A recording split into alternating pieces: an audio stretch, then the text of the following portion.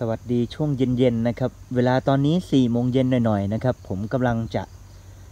มาตัดหญ้านะครับในสวนในบางโซนนะครับ ที่ยังมีหญ้าขึ้นปกคลุมต้นไม้นะครับ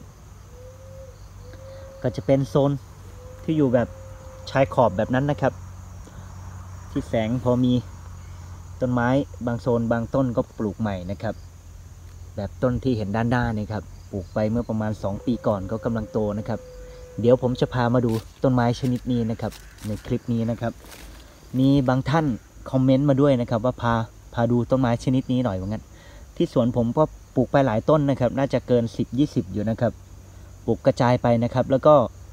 ยังไม่โตมากาดูดูกันก่อนอต้นนี้สูงประมาณาประมาณศีรษะผมนะครับ ก็ประมาณ ยังไม่ 2 เมตรเนาะเมตรกว่าๆประมาณเมตรเจ็ดสิบนะครับ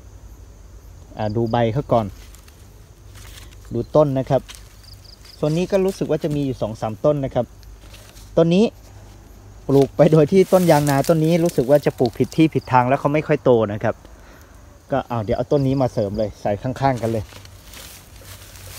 พอเอาต้นต้นไม้ชนิดนี้มาปลูกข้างๆเอาเหมือนยางนาก็อยากจะโตด้วยทีนี้เหมือนแข่งกันโต ต้นไม้ชนิดนี้นะครับ เขาเรียกว่ามะหาดนะครับมะหาด หลายท่านคงเคยได้ยินคำว่าครีมมะหาดนะครับท่านสุภาพสตรีอาจจะเคยได้ยินนะครับว่าครีมมะหาดใช้ทาผิวพรรณทาหน้าให้หน้าขาวเนาะเป็นจริงแท้ประการใดเดี๋ยวจะเล่าให้ฟังนะครับมะหาดนอกจากจะเป็นไม้ที่มีเนื้อไม้ค่อนข้างเหนียวแกร่งนะครับ คนเลื่อยไม้แทบจะไม่อยากเลื่อยนะครับ ใช้ทำเครื่องเรือนได้ดีเหมือนกัน ใช้ทำเขียงเนี่ยก็สุดยอดเหมือนกันนะครับ ไม้มีความแกร่งมากความเหนียวมาก แล้วก็ยังเป็นผลไม้ป่าด้วยนะครับ ผลมหาด เอาเป็นว่าเดี๋ยวผมจะแปะลิงก์ไว้ใต้คอมเมนต์แล้วกันเนาะข้อมูลเชิงลึกของมันนะครับลักษณะผลสุกเขาเป็นอย่างไรนะครับ หลายท่านอาจจะไม่เคยเห็นนะครับ เป็นผลไม้ป่าด้วย สัตว์จำพวกกวางนะชอบเท่าที่เห็นในป่านะครับ กวางชอบไปกินนกก็ชอบกินเหมือนกันมหาดนะครับ ผมอ่ารู้จักต้นใหญ่ ๆ ของเขาอยู่ 2 ต้นนะที่แบบอยู่ในหมู่บ้านที่รู้จักนะครับ ไม่ได้อยู่ในภูเขาหรอกเป็นต้นไม้เดิมๆแล้วเขาเหลือไว้นะครับ ก็ต้นขนาดคนโอบนะครับ เดี๋ยวถึงเวลาที่เขาติดหมากติดผลเดี๋ยวผมจะเก็บเมล็ดมาแบ่งปันแล้วกันเนาะแต่ว่าชนิดนี้อะมันมันเก็บได้แค่ประมาณไม่ถึงอาทิตย์นะเมล็ดเขามีความเสื่อมเร็วมากเลย คือหล่นลงมาถ้าถ้าแห้งปุ๊บก็เพาะไม่งอกเลยนะครับเลยต้องรีบเก็บเนาะอย่างปีที่แล้วเนี่ยก็ผมก็ไปช้าไปหน่อย แต่ว่าผมตั้งบันทึกไว้แล้วแหละว่า ถ้าถึงวันที่ที่มันสุกเนี่ยเริ่มหล่นเนี่ยต้องรีบไปแล้วถ้าไปไม่ทันก็คือเมล็ดปีนั้นก็ไม่ได้เพาะนะครับ อย่างผมก็ไม่ได้เพาะเพิ่มเลย ทั้งที่เป็นไม้ดีนะครับ ผมจะหามาปลูกเพิ่มอยู่นะครับ ผลสุกมันสีเหลืองๆเนาะเป็นผลไม้ป่า ซึ่งสัตว์ป่าหลากหลายชนิดนะครับ ชอบชอบ แล้วก็ไอ้ที่เขานิยมกันนะที่ว่าครีมมหาดครีมมหาดนะครับ คือเขาบอกว่าทุกส่วนของต้นมันมันมี ประโยชน์หมดเลยนะครับ มีคุณสมบัติหลากหลายอย่างนะครับ อย่างไอ้ครีมมหาดเนี่ยเขาบอกว่าเอาเอาแก่นของเขานะครับ ไปสกัดสารตัวหนึ่งซึ่งรายละเอียดนะครับ ผมจำไม่ได้นะครับ เดี๋ยวผมแปะลิงก์ไว้ใต้คอมเมนต์แล้วกันเนาะสารตัวนี้มันไปยับยั้งเรื่องเม็ดสี เวลาเราเราเอามาทำเป็นครีมทานงทาหน้านี่เนาะ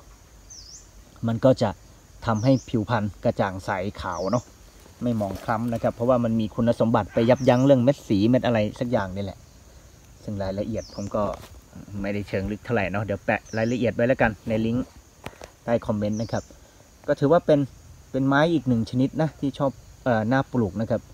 แต่ว่าเมื่อก่อนเนี่ย ผมคิดว่าคิดว่าเขาเอาเอาผลมันนะ ถ้าเอาผลมันไปสกัดทำครีมทาหน้านี่น่าน่าจะเวิร์กน่าจะดี เพราะว่าไม่ต้องตัดลำตรงลำต้นไป แต่เขาบอกว่าเอาแก่นเอาเปลือก เนื้อไม้มันเนี่ยไปสกัดก็คงต้องตัดกิ่งตัดก้านมันไปเนาะถ้าไม่ตัดต้นมันเนาะก็ถือว่าตามตามป่าก็เหลือไม่ค่อยเยอะแล้วนะ อย่างภูเขาบ้านผมผมไปเดินป่าเนี่ย ผมไปเจออยู่แค่ประมาณสี่ซาห้าต้นเองนะ ต้นใหญ่ ๆ นะครับ ผมก็ทำแผนทงแผนที่ไว้อยู่เมื่อก่อนไปเจอต้นไม้ ไปเจอก็ไปเจอตอนผลสุกเขานะครับร่วงถึงรู้ว่าเป็นต้นมหาดนะครับ เพราะว่าในป่าในเขาเนี่ย เราจะเห็นเฉพาะลำต้นเขานะครับ โดยส่วนใหญ่ต้นไม้เนี่ยมองไม่เห็นเรือนยอดเขาสักเท่าไหร่ แทบไม่รู้ว่าเป็นต้นอะไรนะครับ ถ้าถ้าไม่จำลักษณะต้นเขาได้จริง ๆ เนาะดูลักษณะต้นเขานะครับ ต้นใหญ่ ๆ ก็ประมาณนี้แหละ ออกแดงๆออกน้ำตาลแบบนี้นะครับมหาดเออยังแตกยอดใหม่อยู่เลยในตัวนี้ถือว่าตั้งหลักได้แล้วนะครับ แบบนี้พุ่งแตกยอดแล้วสองปีแล้วนะครับ เนี่ย ปลูกตั้งแต่ขนาดเท่าครึ่งมือ เพาะเมล็ดเองนะครับอะมันมีต้นหนึ่งอยู่ตอนนี้เดี๋ยวมาดูหน่อย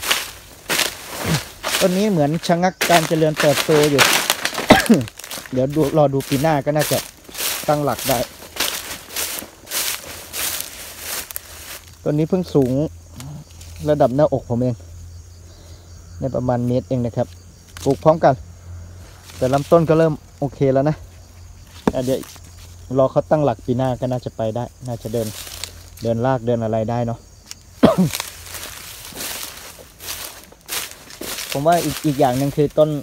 ต้นเนี้ยมันโดนโดนต้นไม้ต้นอื่นบังแสงด้วยก็อาจจะโตช้า ส่วนตรงต้นนี้มันอยู่ตรงทางเดินพอดีเนาะ อยู่ตรงทางรอบสวนตรงนี้ก็จะพอมีแสงตรงนี้ พอมีแสงส่องได้เนาะมหาดน่าปลูกนะครับ แต่ว่ารู้สึกจะเหี่ยวเหี่ยวเหมือนกันนะใบใบยอดอ่อนเนี่ย ธรรมดานะครับ น้ำน้ำในดินเริ่มแห้งแล้ว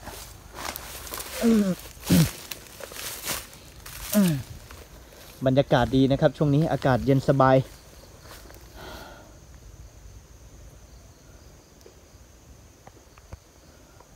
อะคลิปนี้ก็คงจะประมาณนี้นะครับ คลิปสั้นๆนะครับ พามาดูอีกหนึ่งไม้ ซึ่งถือว่าเป็นผลไม้ป่าหน้าปลูกเหมือนกัน แล้วก็ เนื้อไม้คุณภาพดีเหนียว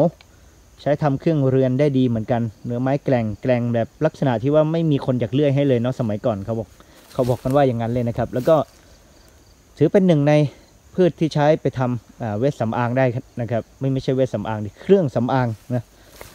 ใช้ทำเครื่องสำอางได้ทำให้ผิวพรรณขาวเนาะอะคลิปนี้ก็คงประมาณนี้นะครับ